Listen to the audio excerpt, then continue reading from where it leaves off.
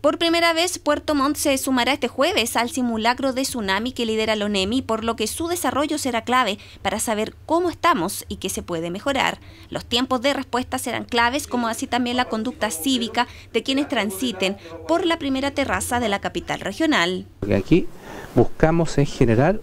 una cultura preventiva en la ciudadanía, dado que el borde costero de la provincia de Yanquihue no está exento del riesgo de tsunami y terremoto, eh, incluido el sector urbano de Puerto Montt. No hay ninguna evidencia científica que nos libere de un riesgo de tsunami. Respuesta directa para la Cámara de Comercio Detallista que criticó este ejercicio. Adhesión y no marginación busca el Comité Provincial de Emergencia que sesionó para coordinar los últimos detalles de este ejercicio regional que espera movilizar a cerca de 10.000 personas en la provincia de Yanquihue. Hemos eh,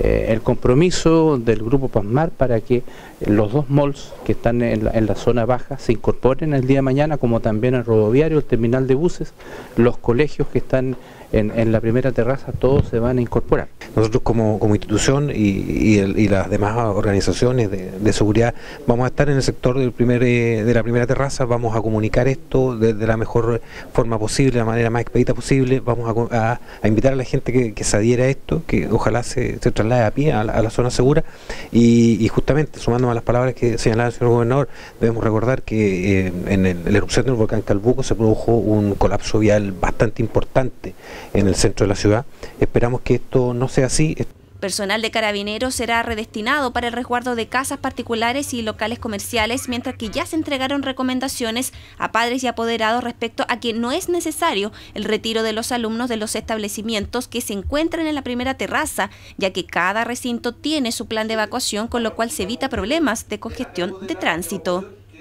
Lo que buscamos con este ejercicio es contribuir a la educación cívica de las personas. Por lo tanto, eh, yo llamo a, sumarse, a realizar esta actividad que es voluntaria, no hay obligación, eh, eh, las policías no van a detener gente que no adhiera a este tema, no obstante creemos, tal como lo señalaba muy bien también nuestro gobernador, esta es una instancia, ¿no es cierto?, de poner a prueba nuestro espíritu cívico. Cabe hacer mención que este simulacro también se desarrollará en Maullín, Cochamoy y Calbuco, mientras que las comunas de Los Muermos y Fresia se realizarán pruebas de telecomunicaciones.